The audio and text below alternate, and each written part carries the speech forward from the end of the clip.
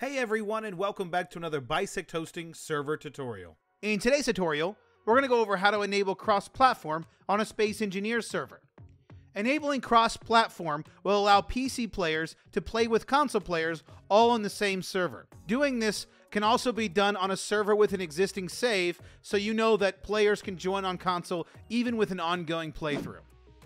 First, we're going to log into our Bisect Hosting Games panel and choose our Space Engineers server. Next, we're going to choose the Stop button to stop the server.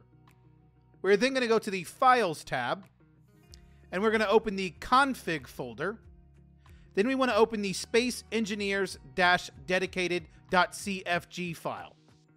We're going to scroll down to the line that should be around line 199 that says cross platform false. We are going to change in between those brackets to true. Next, we're going to go to the line that says network type and in the middle says Steam. It should be around 234. With this, we're going to change this from Steam and instead of Steam, we're going to type EOS. And lastly, the line right below it, we're going to change the console compatibility from false to true.